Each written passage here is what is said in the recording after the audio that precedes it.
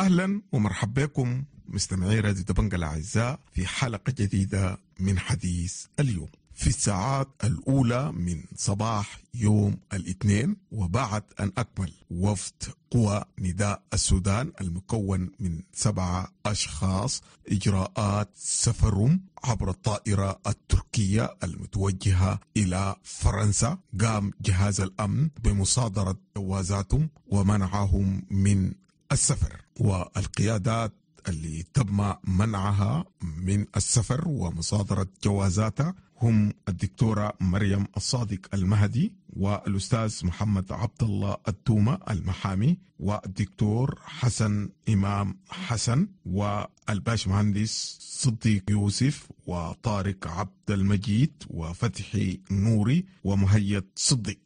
ولتسليط الضوء على ما حدث في مطار الخرطوم وتداعياته. يسعدنا في راديو دبنجا أن نستضيف اثنين من الممنوعين من السفر وصادروا جوازاتهم وهم الباش مهندس صديق يوسف القيادي بتحالف قوى الإجماع الوطني والدكتورة مريم الصادق المهدي نائب رئيس حزب الأمة والقيادية بقوى نداء السودان. عشان نعرف منهم الحصل شنو بالضبط بعد ما عملوا مؤتمر صحفي أمس في الخرطوم بالخصوص ده. ونبدأ حلقتنا أعزائي المستمعين مع الباش مهندس صديق يوسف القيادي بتحالف قوى نداء السودان وحقيقة ما حدث بمطار الخرطوم. مرحبا بك صديق والحصل شنو؟ تلبية لدعوة من منظمة التسليم والعدالة بالتضامن مع لجنة الضمانية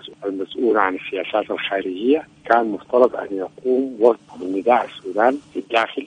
صباح فجر اليوم إلى باريس. وفوجئنا في المطار كنا سبعة من أعضاء هذا الوفد فوجئنا بأن سلطات الامن تستلم جوازاتنا وتخبرنا بأننا ممنوعون من السفر. وكان ده بعد ما كل إجراءاتنا وزنا لعفشنا واستلامنا لل boarding card وأي حاجة حتى جونا في الامن اعترضوا مما أدى اولا أن إحنا طالبنا بانه العفش بتاعنا طياره أخروا قيام الطائرة إلى أن سلمونا تردينا جوازاتنا وصودرت جوازات سفرنا وبلغنا أنه نمشي للأمن رئاسه الأمن عشان نفهم جوازات وسبب منعنا من السفر. نعتقد أنه ده تأكيد لما كنا نقوله أنه الخطاب اللي قاله عمر البشير في التدشين بتاعه كرئيس للجمهورية حول فتح الحوار مع الآخرين وقبول الرأي الآخر وفتح الحريات كان كلام بس مجرد الحديث وليس في واقع الأمر لأنه دعوة معروفة كتب عنها في الصحف عدة مرات معروفة لدى الشعب السوداني كله معروفة لدى الدولة. لم تخطرنا مسبقا بهذا القرار بمنعنا. وفوجئنا بأنه في آخر لحظة يمارس معنا المنع. الشيء الآخر ما يؤكد أن هذا النظام يسير في نفس سياساته السابقة. ما حدث اليوم بمصادرة صحيفة الوطن وبعض الصحف الأخرى وما حدث قبل عدة أيام بمصادرة عشر صحف في يوم واحد وإيقاف أربع صحف. ما حدث اليوم في مدرسة مدرسة الكنيسة الكاثوليكية. في الحارة 56 بالثورة بن درمان سلطات الحكومة عايزة تصادر مباني المدرسة. الوقت أن هذه المدرسة هي الأرض بتاعتها ملك مسجل باسم الكنيسة الكاثوليكية. وفي عندهم أبناء كثير من السودانيين المسيحيين من أبنائهم. وهي بجانب تدريسها لكل الحاجات الأخرى بتدرس الديانة المسيحية. وصوا فيها عدد كبير ضخم جدا من الطلاب من أبناء الأسر المسيحية. اعتصموا الطلاب والأساتذة وآباء الطلاب اليوم في المدرسة وفوجئوا بناس الأمن يصدوا هذا اللقاء يصدوا الاحتجاج واعتقلوا بعض الأفراد. دي كلها بتدل على أنه هذا النظام شايف في السياسات بتاعته ويعتقد أنه الحل الحل له أو لاستقراره هو تصعيد الحرب فوق جنوب النيل الأزرق وجنوب كردفان وضرب المواطنين بالسيارات وحرمان وصول الحاجات الإنسانية. ده كله دي سياسته بالنسبة للمناطق الحرب المناطق الأخرى القهر بمنع مصادرة الحريات والاعتقالات بالاستعمال الرصاص الحي لفض التجمعات ودي النظام بيفتكر أنه لا مجال له للبقاء إلا باتباع نتائج السياسة. لم يتبقى أمامنا إلا أن نعيد للانتفاضه لإنقاذ حصن واكدناه في المؤتمر الصحفي وغايه الخطوات.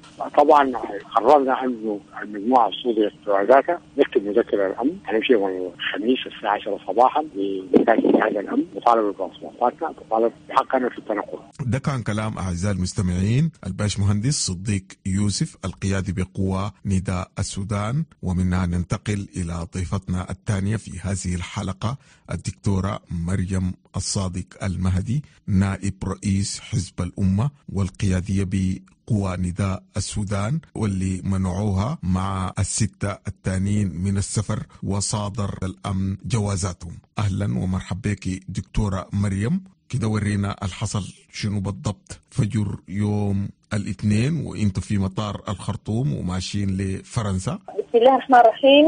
الحمد لله والصلاة على رسول الله الأحباب والحبيبات مستمعي ومشاهدي راديو تلفزيون دبنجا السلام عليكم جميعا ورحمة الله تعالى وبركاته. أهلا بك أستاذ كمال وسعيدة جدا بالتواصل معاكم كتر خيركم دوما باقي لنا منبر للعرض القضايا الوطنية والاتفاق والتشاور بصورة تخلينا نتلاقى كمواطنين لبلد بنأمل إنه يسود السلام والاستقرار.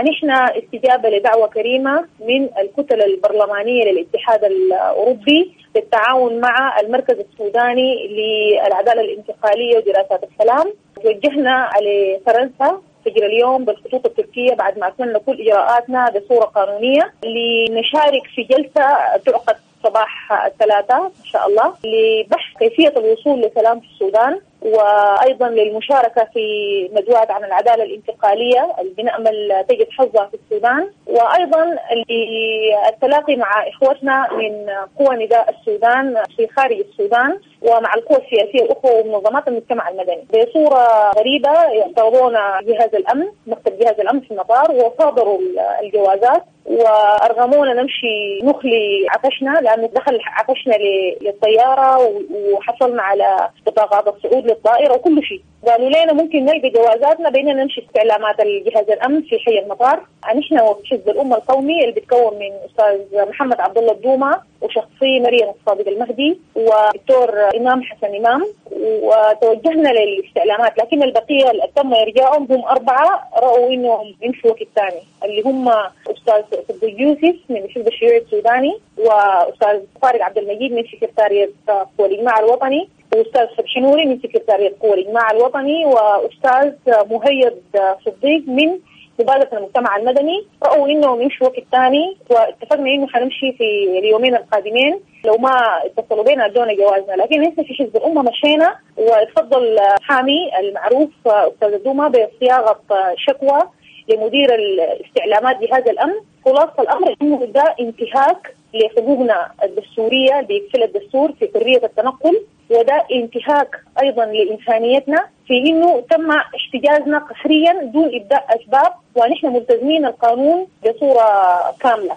وطالبناهم في نهاية الشكوى بأنهم يرجعوا لنا جوازاتنا فورا عشان نواصل سفرنا عشان نلحق الجلسة غدا في ستراسبورغ في فرنسا. وأيضا عندنا التزامات أخرى ومؤتمرات في الخارج في ألمانيا وفي عدد من البلاد الأوروبية بأسرع ما يمكن يدونا جوازاتنا. وطالبناهم بالاعتذار لنا. للتأخير والعطلة والامتهان اللي عرضنا لها خاصة وانه في بعض القيادات السودانية من اخواننا المناضلين قدروا إنهم يمشوا لهذه الأعمال الوطنية المهمة لأنهم عندهم جوازات سفر غير سودانية بل حماهم من تغول جهاز الأمر، أصبحنا نحن لأننا سودانيين وعندنا الجنسية السودانية في كامل الانتهاك وما عندنا أي حماية وما عندنا حقوق دستورية بتحمي أي جهة، خاصة وهم بيتكلموا عن حكومة جديدة وحكومة وإنه وزير عدل جديد افترض فيه إنه يكون إنسان مختص وقاضي سابق وغيره، للأسف بدأت هذه البداية المتغولة المنتهكة للحريات. انشنا أيضا مصعدين قضيتنا في الآليات اللي عملنا مؤتمر صحفي. عشان نعلم الجهات السودانية بما فيها حكومتهم الجديدة بما فيها وزير عدلهم. وبما فيها مختلف الجهات لكن ما في إنسان فينا يتكلم ولا أعتقد في مننا حيتكلم. إننا نمشي نقدم شكوى لمفوضية حقوق الانسان لانها أثبتت انها هي نفسها بتحتاج لحماية كما نقول عنها أي كلام آخر. نحن بنحتفظ بحقنا وماشيين قدما في إنه نصعد الأمر في شكوى للخبير المستقل لحقوق الإنسان وللمحكمة الأفريقية لحقوق الإنسان وحقوق الشعوب. وكل الاليات الدولية طبعا هناك اللقاء بتاعنا ماضي قدما. الأحباب قيادات الجبهة الثورية كلهم وصلوا لفرنسا. كذلك الحبيب الإمام صادق المهدي رئيس الحزب وصل لفرنسا بعدد مع معه عدد من قيادات الحزب في الخارج. بيخاطبوا بكره البرلمان لكن اليوم بتنعقد جلسة عاجلة مع رئيس البرلمان الاوروبي عشان يناقشوا هذا الأمر الخطير. حيكون في بالتأكيد تصعيد دولي كبير في المسألة دي لكن دي مرة أخرى الحكومة بتنتهك السياده السودانية بإنها بتصور الحكومة السودانية بإنها حكومة منتهكة لحقوق شعبها وحاطة لقدر القيادات السياسية وغيرها من الأشياء اللي دوما قاعد تحط من كرامة الإنسان السوداني وسياده الدولة السودانية، فنحن في الأمر ده أصلا بنتكلم عن لا بد من تغيير هذا الوضع. الكل حروب وكله غضب وكله غبن وكله فشل لصالح عملية تكون فيها السلام والاستقرار، نحن ماضين قدما في تصعيدنا، نحن ما بنحبس جوا بلدنا، دي بلدنا الأصل. من أجلها بنطلع وبنخاطب الغير، بالتالي ما بيوقفنا في شيء، لكن بيخلي السودان في خانة أكثر ضعة مما هم أصلا وصلوا لها،